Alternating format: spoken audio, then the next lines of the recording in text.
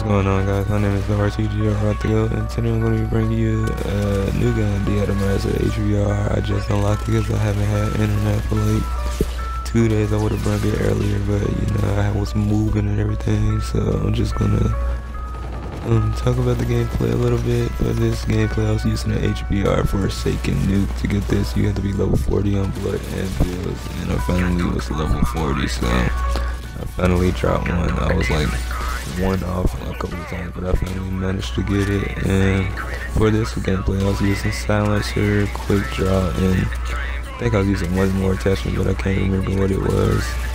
Cause I was using extended mags at first, but I had took it off and then I put something else on. But I was using UAV, advanced UAV, and Warden for my kill. As you see, I don't use the the Warden and this is pretty longer video because I tried to go for a Juggernaut, but I fucking failed. I get blew away like one or two off a Juggernaut. But I just got the nuke, the atomizer, call it in, and I'm just gonna let you guys watch this. And if you enjoy gameplays like this, make sure to leave a like. And if you're new to the channel, sub. And I'm just gonna let you guys watch this. Hope you enjoy, and I'm out. Peace.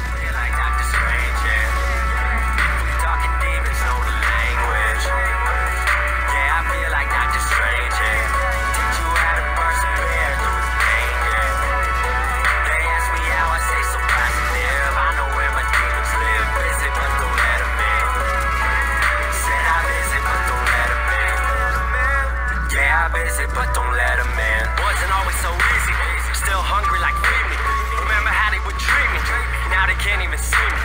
I ain't tripping, I still got a lot to do. Might be stunting if you put me in the mood. Show a different face, still